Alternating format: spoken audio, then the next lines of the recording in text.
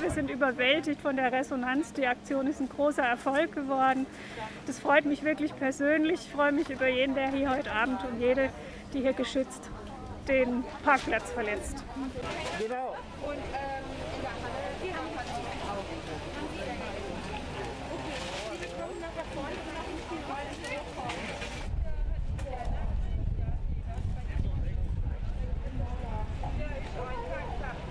die heute hierher kommen, haben ihre persönliche Risikoabwägung getroffen. AstraZeneca ist ein zugelassener, sicherer Impfstoff, gerade für Ältere. Die EMA hat ihn auch für jüngere Patienten in der EU zugelassen und geprüft und er ist so ein bisschen zu Unrecht in Verruf geraten, denke ich.